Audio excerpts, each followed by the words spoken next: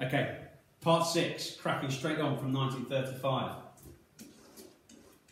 In October, after Mussolini playing it fairly cagey for most of uh, 1935, he finally invades Abyssinia, trying to create Mare Nostrum, trying to rival the British and French empires in Africa, and to fulfil his dream towards greater glory for uh, the Italian nation.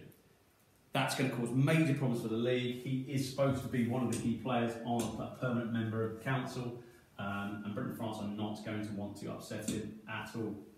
Oh, let's move it on to 1936.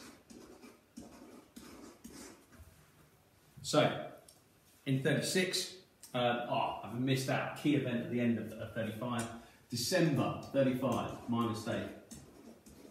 After Mussolini invades, should know that Britain and France are desperate to keep him on side.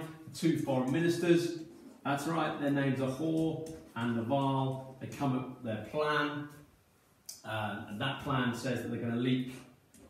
They're going to leak. They're going to give two thirds of Abyssinia to the aggressor, two thirds to Mussolini. Abyssinia, a member of the League of Nations, being sold down the river so that they can keep Mussolini happy.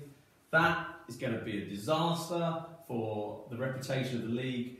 Never comes into effect, but the details are leaked to the press, and the credibility of the league is flushed down the toilet. Britain and France look suitably embarrassed, having tried to work outside the league, and it's a massive uh, example of them shooting themselves in the foot. By the time we get to 36, oh, we're up there, 36 already. Um, one statistic for you the Gestapo in 1936, they broke up 1,000 underground socialist meetings. It's a good prompt for you to make sure you understand as much as you can about the Nazi methods of control, the level of opposition, why there was not much opposition in Germany. Get loads of questions on that. Um, there was opposition, but it tended to be low level, and it tended to not be very successful because the Nazis were so good at breaking it up. So that's a good statistic to um, remind you of that. Another topic which you doesn't fit on the timeline very easily is the idea of culture and media. Perhaps the best case study you do on that is the Berlin Olympics and the, the great propaganda triumph the Nazis believe it to be, although Jesse Owens does his best to ruin that. Um, make sure you understand how the Nazis used culture, how they used mass media. Make sure you understand about taking over of the newspapers and Goebbels shutting down all but a thousand of those by 1944.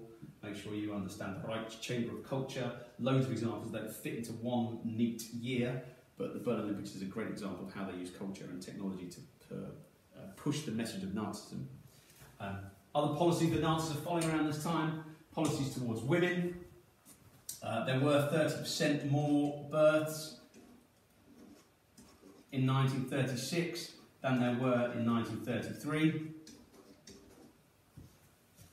You guys have to understand why Adolf Hitler tries to get women out of the workplace, back into the home, producing as many kids as he possibly can, um, and how he does it, and how successful those policies are you will need to know that stuff. It doesn't all fit neatly into a year on the timeline. Uh, let's go over the other side.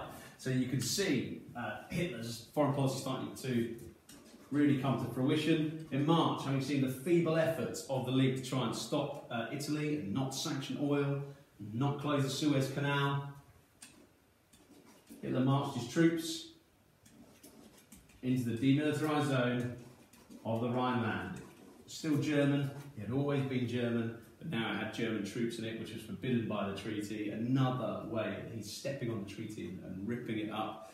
Phenomenally popular in Germany, again, boosting his confidence um, and boosting his reputation at home, keeping German people happy. The Abyssinian invasion is still going on. The capital falls. As you, obviously, you're great geographers and you know the capital is Addis Ababa fell to the Italians. The emperor, Haile Selassie, has to flee.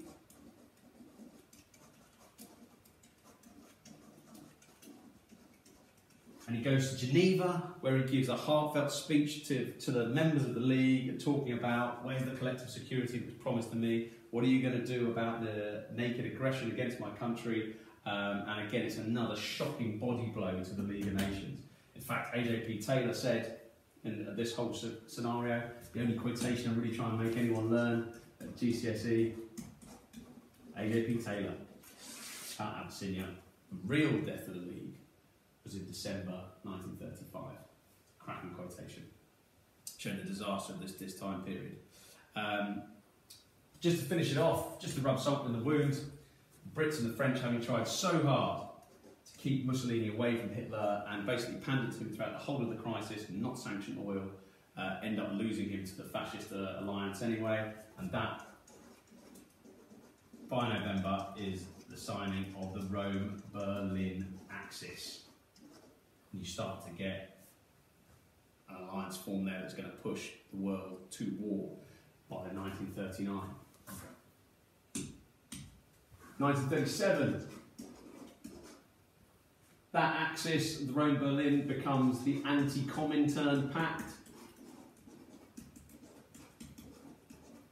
That's Anti Communist International.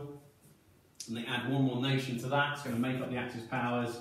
So Italy and Germany join forces with Japan to publicly state they are enemies of communism and to restrict the expansion of communism and uh, declare that Stalin is their enemy why the Nazi Soviet pact comes as such a shock to so many people couple of years down the line.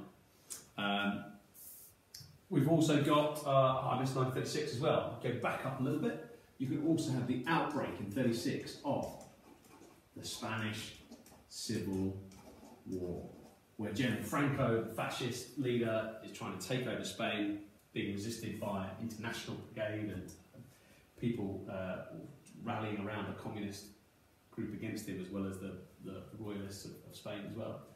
This is where Hitler's going to test out the Condor Legion and sharpen the Luftwaffe's uh, readiness for the Second World War. It's the most famous example of this, although Mussolini does send troops as well, but it just sends the Luftwaffe, uh, and that's the bombing of Guernica that gets turned into a very famous picture by Pablo Picasso and becomes one of the key reasons why the Allies are so desperate to appease Hitler and trying to avoid war because the bomber will always get through what Stanley Baldwin, Conservative Prime Minister, said.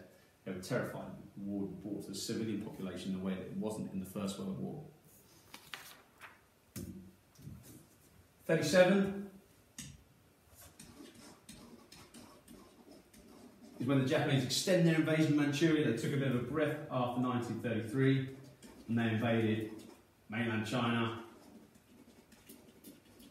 Some historians will give 1937 as the start of the Second World War. The Japanese start to rampage down uh, throughout Southeast Asia, desperately trying to grab as much oil as they can um, before the Americans cut that supply off for them.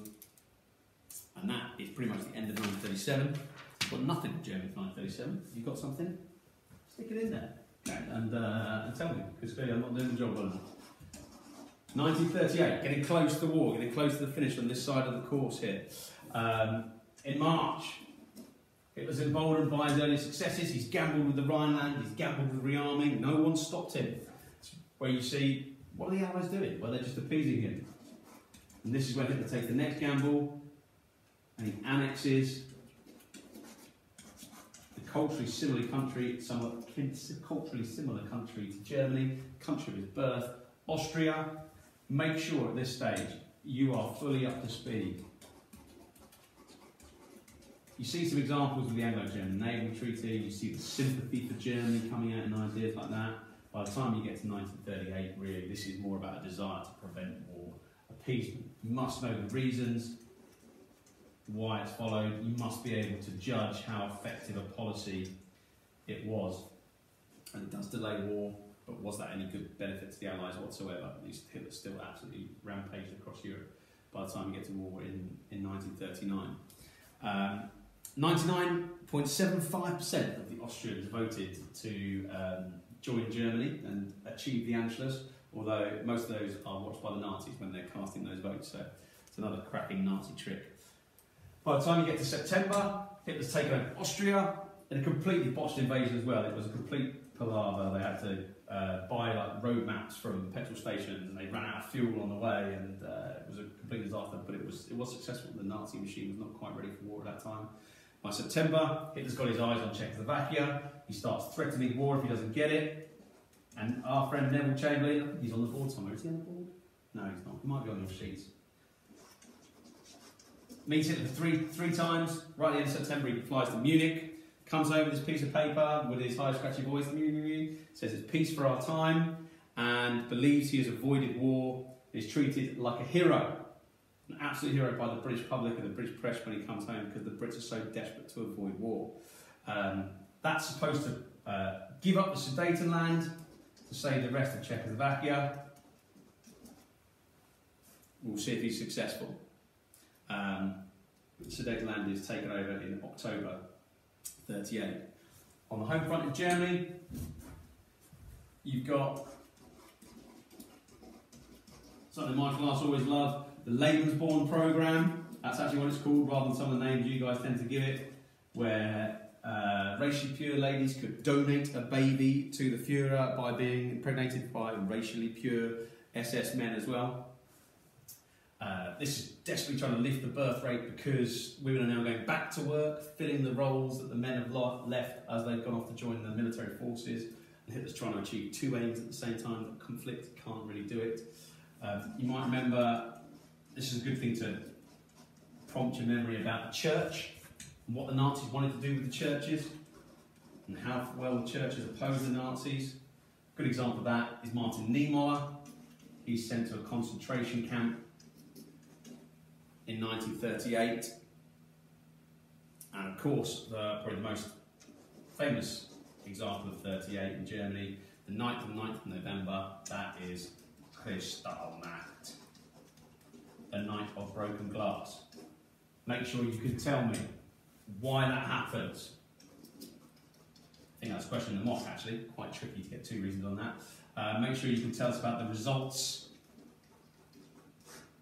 of Kristallnacht and the impact. Actually, most of the German people don't like it, and Hitler starts to just ease off on the open persecution of Jews at that time, do it a bit more in secret. Um, we're now right into the eve of the war, going into 1939. By this stage, you've got 82% of Germans involved in the Hitler Youth. Good time to remind yourself and say, okay, well, how well do I know the policies on youth? Do I know what the Nazis did, why they did it, how they did it? Do I know the equivalent of the Hitler Youth for, for girls? Do I know what the activities they got involved in at the time? Um, to make sure you know the purpose and the methods of the Hitler Youth and how effective it was. There's a great question about how effective Nazi policies were towards young people. There are going to be opposition groups, which we'll mention shortly. Um, you've also got by 1939, 70% of households owned the radio that couldn't pick up foreign radio stations. Remember the name? That's the People's Receiver. Great way for the Nazis to spread their propaganda, and if you didn't have one of those, you were probably hit by one of the 6,000 loudspeakers they've got out and about around Germany. Um, nothing specific I've got for Germany at that time in 1939 two key events, having promised he wouldn't make any further territorial demands, and once he got the Sudetenland, Hitler quickly flouts that. March 39, he invades the rest of Czechoslovakia. Sold down the river, main defences and armaments given away, such as the Skoda Arms Works in the Sudetenland Mountains and the three million Germans in there. Um, clearly, he could not be trusted anymore, which leads to the British guarantee for Polish independence, knowing that Poland would be next, and the Brits and the French could not possibly take one more step back, otherwise we lost all credibility. In August, Hitler and Stalin stunned the world, the Molotov-Ribbentrop Pact, otherwise known as the Nazi-Soviet Pact. You guys are shocking on this in the mock exam, definitely need to know it better. It's a non-aggression pact between Hitler and Stalin, which basically makes the Second World War inevitable. They agreed to split Poland up in secret, but openly they said they were not going to go to war with each other for 10 years, which led 1st of September 1939 to the invasion of Poland. the start of the Second World War, and 15 minutes.